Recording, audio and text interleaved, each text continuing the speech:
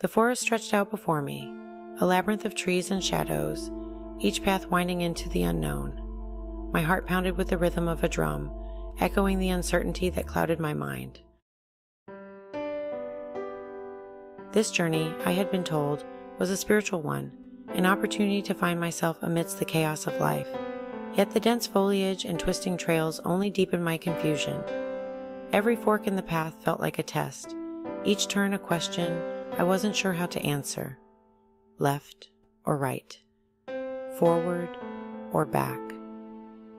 The choices weighed heavily, and my progress seemed halting and unsure. In moments of hesitation, the crow would appear, a dark figure against the green canopy, its eyes gleaming with an otherworldly intelligence.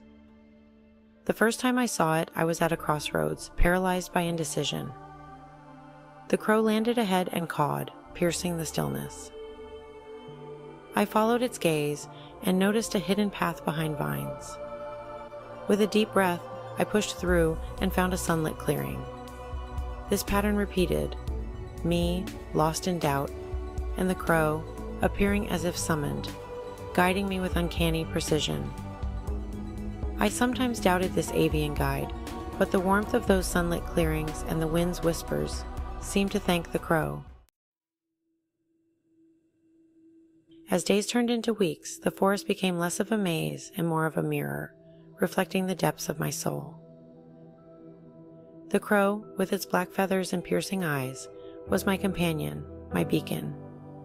It led me through the densest thickets and along the edges of serene ponds, always ahead, always watching.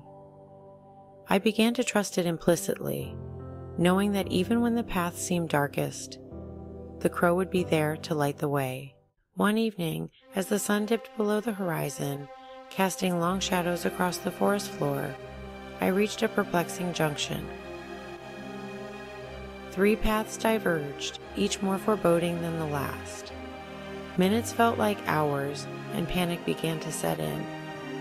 Had I lost my guide? Was I truly alone? But then, the crow swooped down, landing on a low branch. With a caw, it took off down the middle path. I followed, my steps more confident, my heart lighter. The crow was a symbol of my intuition, leading me through my spiritual journey.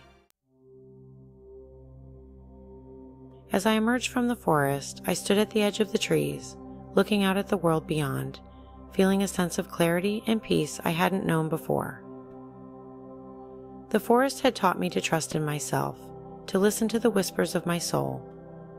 And the crow, with its mysterious guidance, had shown me the way.